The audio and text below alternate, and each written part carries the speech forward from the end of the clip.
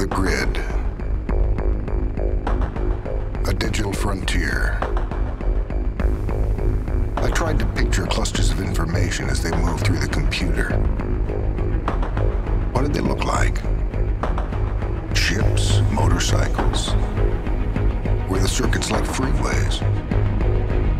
I kept dreaming of a world I thought I'd never see.